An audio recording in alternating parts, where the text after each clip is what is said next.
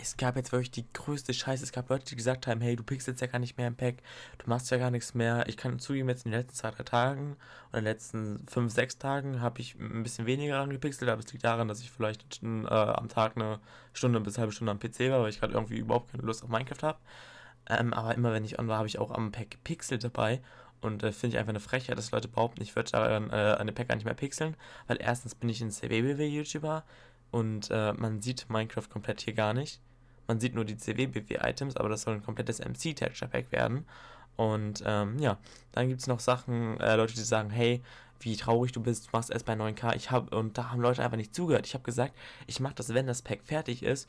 Und ich habe gesagt, immer so eine Ausnahme, wenn äh, bei den 9K das noch nicht fertig ist. Also wenn das bei den 9K noch nicht fertig ist, dann release ich trotzdem einfach, obwohl es noch nicht fertig ist. Ich habe, okay, ich habe mich missverständlich dort ausgedrückt, muss ich zugeben.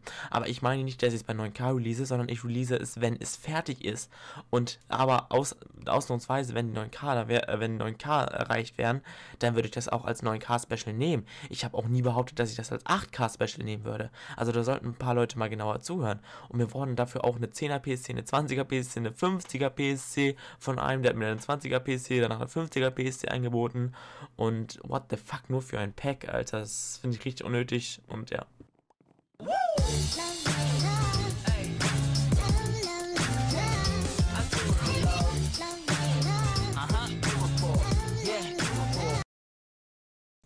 Und es gab da übrigens einfach jemanden, der es nachgepixelt hat, was eigentlich schon so eigentlich eine korrekte Aktion ist so. Und dann gab es einen YouTuber, der das dann so äh, WMS Pack V4 äh, Release oder sowas gemacht hat. Und obwohl dieser, der das nachgepixelt hat, gar nicht damit einverstanden war, ähm, finde ich auf jeden Fall von diesem YouTuber echt krass, was er da für Klicks macht.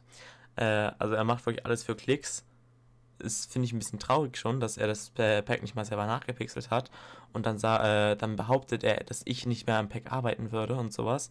Ähm, finde ich dann schon ziemlich traurig, dass er dann nicht mal den, der das wirklich ne, gepixelt hat, irgendwie verlinkt oder sowas, der sich die Mühe gibt und das nachpixelt. Also an dich, du bist echt eine traurige Person. Äh, und ja, hier ist das Pack jetzt. Es ist meines Erachtens fertig.